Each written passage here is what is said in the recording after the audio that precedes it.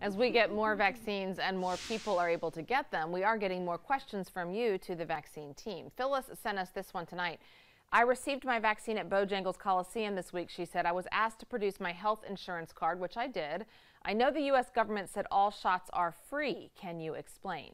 Phyllis, that's true. All COVID vaccines are free for you, but the state says some providers can charge an administrative fee that is covered by your insurance. So if you don't have insurance, you still will not have to pay. The place you get your vaccine can request reimbursement through the federal government.